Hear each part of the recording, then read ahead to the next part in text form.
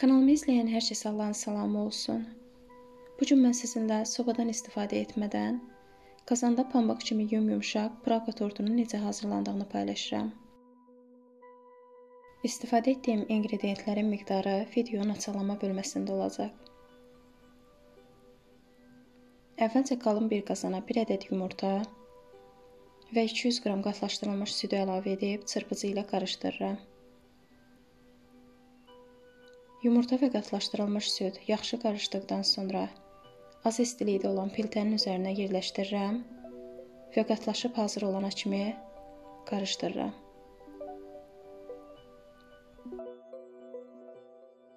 Zavarlı krem təxminən 2 dəqiqəyə hazır olur. Sonra başqa bir qaba yığıb, üzərini streçlə örtüb, otaq istiliyində soyuduram. Və həmin müddətdə tortun qorclarını hazırlayıram. Biskvitin xəmirini hazırlayarkən 200 qramlıq çaşkadan istifadə edirəm. Hazırlayacağım qaba 1 dolu çaşka və 1 xörək qaşığı un, yarım çaşka şəkər tozu,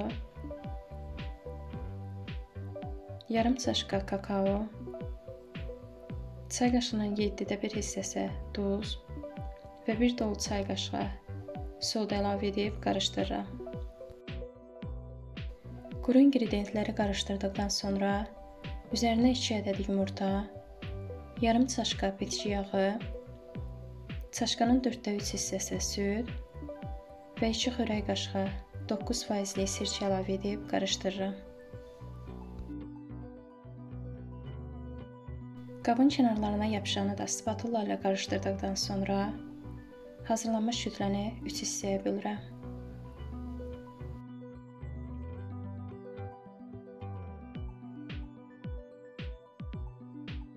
Qalın bir qazan götürüb piltənin üzərinə yerləşdirirəm və qazan qızdıqdan sonra bitki yağı çəkib hazır xəmirdən birini əlavə edib hamarlayıb sonra qapağını örtürəm və az istilikdə bişirirəm.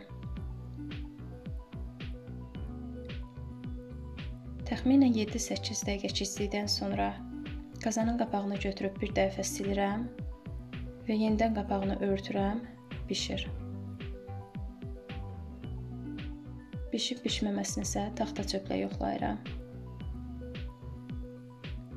Ümumilikdə 12 dəqiqəyə bişib hazır olur.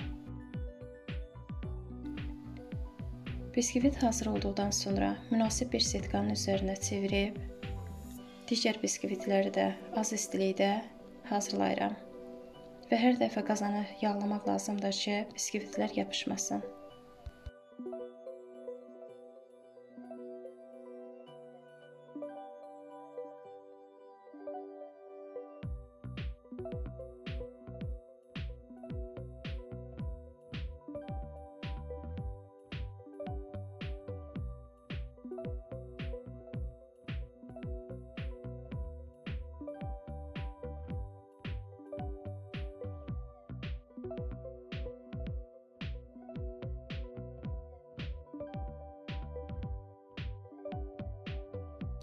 Biskvitlər bişib soyuduqdan sonra əgər bir qədər quru olarsa, nəmləndirmək üçün yarım çaşka qaynar suya 1 xörək qaşığı kakao və 2 xörək qaşığı şəkər tozu əlavə edib qarışdırıb onunla nəmləndirmək olar.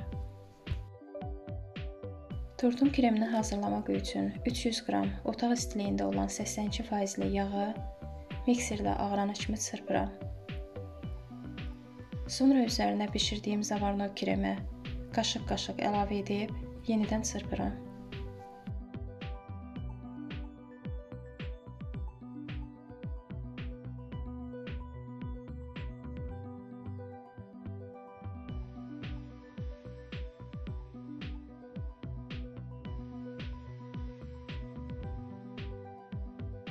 Sonda isə üzərinə 3 xörək qaşığı kakao əlavə edib çırpıram.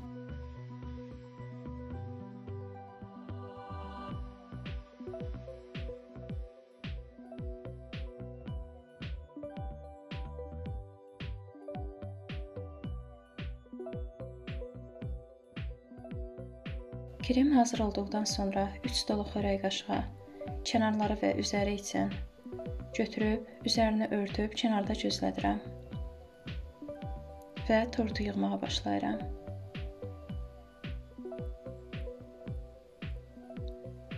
Və qatların arasına kremi rahat seçmək üçün şirniyyat torbasından istifadə edirəm.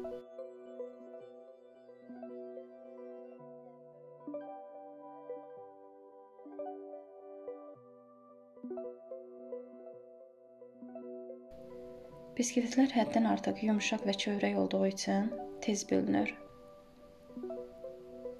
Nəmləndiricidən heç istifadə etmək lazım deyil. Amma mən bir qata necə istifadə etmək lazım olduğunu sizə göstərmək üçün video çəkmişəm.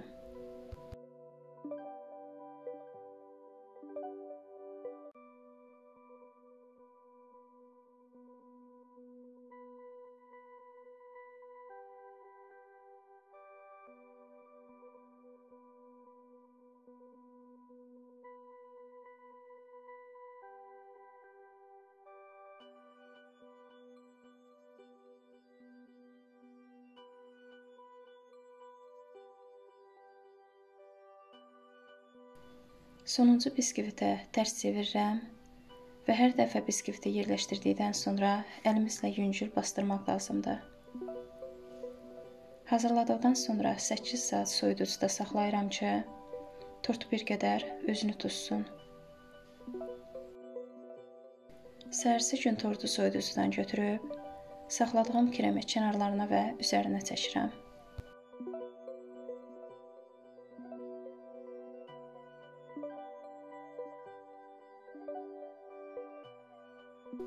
Tortun üzərinin və kənarlarının hamar olması üçün qalın kardon və yaxud da kartdan istifadə edərək hamarlamaq olar.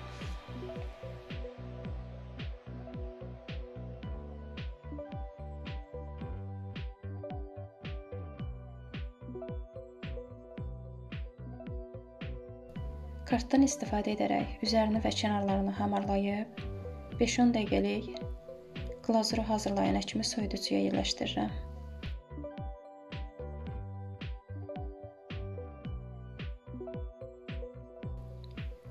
Glazuru hazırlamaq üçün 100 qram tünd şokoladın üzərinə 50 qram yağ əlavə edib qaynar suda əridirəm. Şokolad əridikdən sonra üzərinə 2 xörək qaşığı süd əlavə edib yenidən qarışdırıram. Tort düz qabın üzərində olduğu üçün glazuru həddən artıq duru etmirəm ki, kənarlarından çox axmasın. Tortu glazurun üzərinə çəkdikdən sonra üzəri əgər hamar olmazsa, fendən istifadə edərək bir qədər forma vermək olar.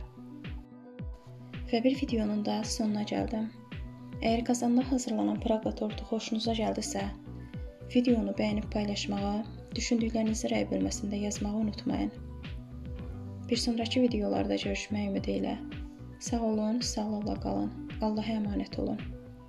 Amin.